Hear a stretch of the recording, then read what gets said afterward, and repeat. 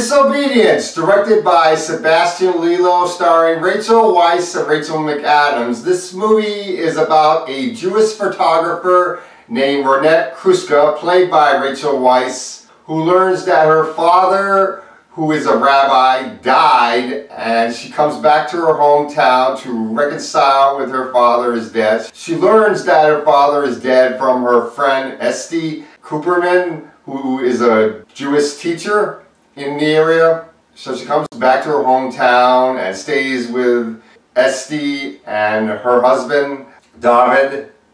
And David is next in line to be the new rabbi.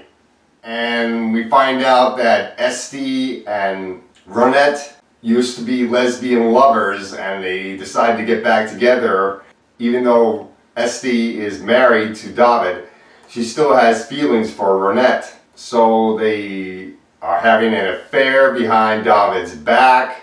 And so we got these two lesbians who are trying to be together in a very conservative Jewish area.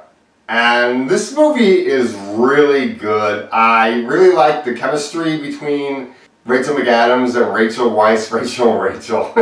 These two are really good together and I did like the guy that plays Rachel McAdams' husband in the movie, and the friction between these two was done very well. The whole drama in the movie was very good, but the only thing I didn't like was the ending. I was expecting this movie to end a bit differently, and the movie doesn't end that way. There is a bit of a complication that happens within the movie, which I did not want to spoil.